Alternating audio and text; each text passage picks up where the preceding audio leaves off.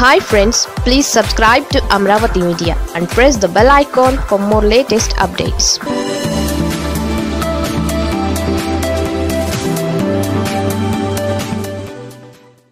బీజేపీకి నడ్డా వ్యాఖ్యలు బూమరాంగ్ మోదీకి జగన్ జలక్ ఇస్తారా?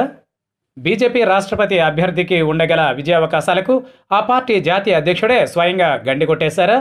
లోకల్లీ మేడ్ స్క్రిప్ట్ను ముందు వెనుకలు చూసుకోకుండా పర్యవసానాలు ఆలోచించకుండా చదివేసే అలవాటు వల్ల ఆయన ప్రెసిడెంట్ ఎలక్షన్స్ వచ్చే సమయానికి బీజేపీ తలలు పట్టుకునే దురవస్థను తయారు చేశారా అనే మీమాంస ఇప్పుడు ఏపీ రాజకీయ వర్గాల్లో మాత్రమే కాదు జాతీయ స్థాయిలో కూడా రేగుతోంది.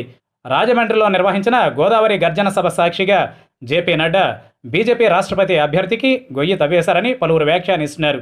కేంద్రంలోని భారతీయ జనతా పార్టీ ప్రభుత్వం ఎంత చేతకాని పరిపాలన అందిస్తున్నా సరే ఏపీలోని వైసీపీ సర్కార్ చూసి చూడనట్లుగానే వ్యవహరిస్తోంది.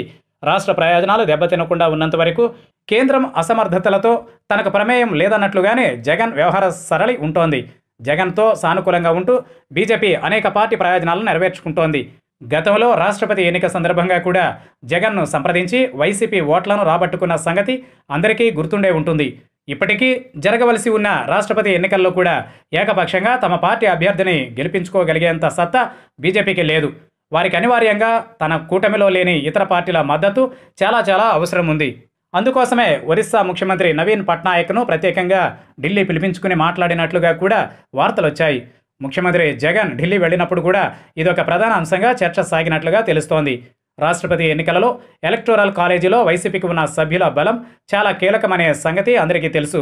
ఇలాంటి సమయంలో ఆ ఎన్నిక పూర్తయ్యే వరకు కేంద్రమే జగన్ను దువ్వుతూ ప్రసన్నం చేసుకోవడానికి ప్రయత్నించాల్సిందే తప్ప తేడాగా వ్యవహరించడానికి అవకాశం లేదు. కానీ రాజమండ్రిలో జరిగిన గోదావరి గర్జన సభలో నడ్డా మాటలు వైసీపీని దూరం చేసుకునే విధంగా ఉన్నాయి. అర్థం పర్థం లేకుండా మాట్లాడే తమ లోకల్ పార్ట్నర్ పవన్ కళ్యాణ్ లాగా నడ్డా మాట్లాడిన మాటలు వైసీపీ శ్రేణులకు చిరాకు తెప్పిస్తున్నాయి. విజయవాడలో జరిగిన మేధావుల సభలో మర్యాదగానే వ్యవహరించిన బీజేపీ రాజమండ్రి సభలో శృతిమించి మాట్లాడింది. బీజేపీ అధికారంలోకి వచ్చి తీరుతుందన్నట్లుగా సాగిన నడ్డా ప్రసంగం జగన్ను కార్నర్ చేస్తూ విమర్శలు గుప్పించింది. ఇంత జరిగాక ప్రెసిడెంట్ ఎన్నికలలో జగన్ ఆ పార్టీకి సహకరిస్తారా అనేది మిలియన్ డాలర్ల ప్రశ్న. వైసీపీ సహకారం లేకుండా వారు గెలవడం కల్లా. అయితే ఎన్నికల్లోగా ఆ పార్టీ పెద్దలు ఏదో ఒక రకంగా జగన్ను బతిమాలి తమకు అనుకూలంగా ఓటు వేసేందుకు అంగీకరింపజేస్తారన్న అభిప్రాయం కూడా పలువురిలో వ్యక్తమవుతోంది.